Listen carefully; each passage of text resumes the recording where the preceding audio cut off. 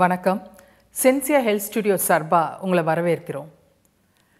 Doctor எல்லா பெண்களுக்கும் பிரசவத்துக்கு அப்புறம் முதுகு வலி வருது. அதுவும் முக்கியமாக சிசேரியனுக்கு அப்புறம் அந்த முதுகு வலி வருது. அது என்ன காரணத்தினால வருதுன்னு விளக்க முடியுமா?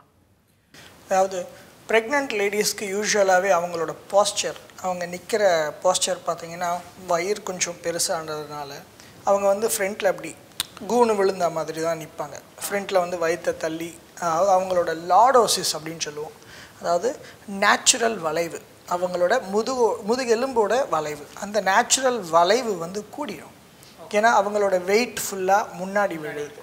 ஸோ ஈக்குலிபிரியம் பாடியோட equilibrium will be shifted towards forward அதாவது அவங்களோட எடை முன்புறத்தில் கூடுறதுனால அவங்களோட போஸ்டரே வந்து மாறும். அதுக்கு என்ன பண்ணணும்னு கேட்டிங்கன்னா பேக்கை ஸ்ட்ரெங்தனிங் பண்ணால் பின்னாடி வந்து அவங்களோட முன்புறத்தில் ஃபால் ஆகிறத நேராக்கும். ஸோ இதை வந்து அவங்க செய்ய தவிர்க்கிறாங்க. ஸோ பேக்கை காம்பன்சேட் பண்ணும்.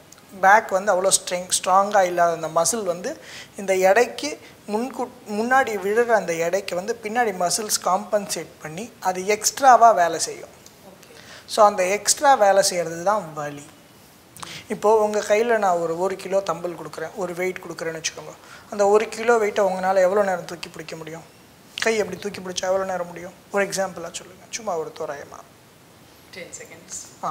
அதுக்கப்புறம் என்ன பண்ணுவீங்க? கையை விட்டுருவீங்க கீழே விட்டுருவீங்க. வலிக்க ஆரம்பிச்சுன்னா கையை கீழே விட்டுருவீங்க. நான் என்ன சொல்கிறேன் இதையே நீங்கள் ஒரு ஒரு மாதம் டெய்லி பண்ண சொல்கிறேன் ஒரு மாதம் நீங்கள் இதையே டெய்லி ப தொடர்ந்து பண்ணீங்கன்னா ஒரு மாதம் கழித்து இந்த டென் செகண்ட்ஸுன்ற விஷயம் கூடுமா கூடாதா? அதே வெயிட் அதே கை. நிச்சயமாக கூடும். ஏன்? இடம் அதே தான் கையும் அதே தான் ஆனால் உங்களால் அந்த பத்து செகண்ட்ன்றது ஒரு நிமிஷமாக கூட பண்ண முடியுது ஒரு மாதத்துக்கு அப்புறமா. இதுதான் எக்ஸசைஸ் ஸோ இதைத்தான் அவங்க பண்ணணும். நிறைய ஸ்ட்ரெங்தனிங் பண்ணி ட்ரெயின் பண்ணிட்டாங்க அப்படின்னா அந்த எடை அவங்களுக்கு அந்த முன்புறத்தில் அந்த எடை கூட்டுற அந்த விஷயத்தை வந்து காம்பன்சேட் பண்ணி அவங்கனால நேராக வலி இல்லாமல் இருக்கலாம். இந்த ஓவர் ஒர்க் பண்ணுற அந்த மசில்ஸ் வந்து இதுவாக ஸ்ட்ரென்த் ஆகி அவங்க ப்ராப்பராக வலி இல்லாமல் இருக்கலாம். இது வந்து பெரும்பாலும் சொல்லுவாங்க சிசேரியனுக்கு அப்புறமா ஏன் வருதுன்னு நீங்கள் ஒரு கேள்வி கேட்டீங்க இல்லையா?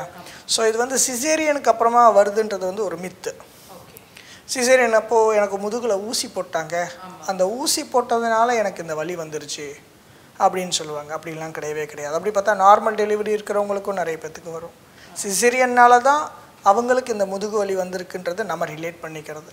ஒரு முப்பது வருஷம் முன்னாடி நான் விழுந்தேன் டாக்டர் அப்போல்லாம் ஒரு பிரச்சனையும் இல்லை. காலில் இப்போ தான் எனக்கு வலி வந்திருக்குன்னு நிறைய பேர் என்கிட்ட சொல்லுவாங்க. அந்த மாதிரியான கதை தான் இதுவும்.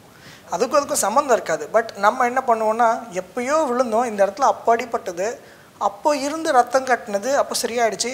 அப்போ நம்மள எதுவும் தொந்தரவு பண்ண இப்போ ஒரு வேளை அது திரும்ப நம்ம தொந்தரவு பண்ணுதோ அப்படின்னு நம்மளாக ரிலேட் பண்ணிக்குவோம். அந்த மாதிரி தான் எதுவுமே பேக் பெயின்ன்ற சாதாரணமாக எல்லாருக்குமே வரும். நிறைய லேடிஸ்க்கு வரும். Normal delivery. ஏன் கல்யாணம் ஆகாத பொண்ணுங்களுக்கெல்லாம் கூட பேக் பெயின் வருது.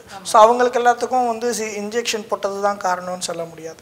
ஸோ பேசிக்காக வந்து மசில் இம் மசில் இம்பேலன்ஸ் அவங்களுக்கு வந்து இந்த மஸ்குலர் ஸ்ட்ரென்த் இல்லாமல் மசில்ஸ் இருக்கிறதுனால அந்த தசைனார் கொஞ்சம் ஓவர் ஒர்க்குனால அந்த பெயின் வர்றது. ஸோ இதுக்கும் மற்ற அந்த விஷயங்களுக்கும் எந்த விதமான சம்மந்தமும் கிடையாது. நன்றி நன்றி. டாக்டர் பிரதீப் குமார் சொன்ன பதில்கள் உங்களுக்கு பயனுள்ளதாக இருக்கும்னு நாங்கள் நம்புகிறோம் சென்சியாஸ் ஹெல்த் ஸ்டுடியோஸ் வழங்கும் இந்த வீடியோஸ் உங்களுக்கு பிடிச்சிருந்தா லைக் பண்ணுங்கள் மேலும் சந்தேகங்கள் இருந்தால் கமெண்ட் பண்ணுங்கள் இந்த வீடியோஸை நீங்கள் தொடர்ந்து பார்க்கணுன்னா எங்கள் சேனலை சப்ஸ்கிரைப் பண்ணுங்கள் நன்றி வணக்கம்.